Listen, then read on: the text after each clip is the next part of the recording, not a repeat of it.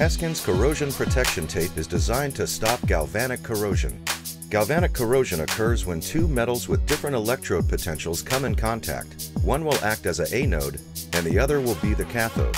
This will cause one metal to rust and corrode faster than normal and the other to be completely untouched. H3453 corrosion protection tape can stop this process from happening. The material acts as a blocker so both materials do not touch, preventing galvanic corrosion. Corrosion protection tape can be applied with ease. When applying the material, simply peel off the backing paper and place the material onto one side of the metal you are using. Apply a reasonable amount of pressure with your hand or use a pressure roller.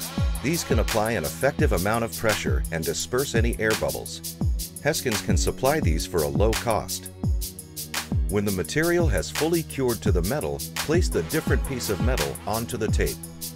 You have now helped to prevent galvanic corrosion on your metal pieces and plates and successfully applied H3453 corrosion protection tape.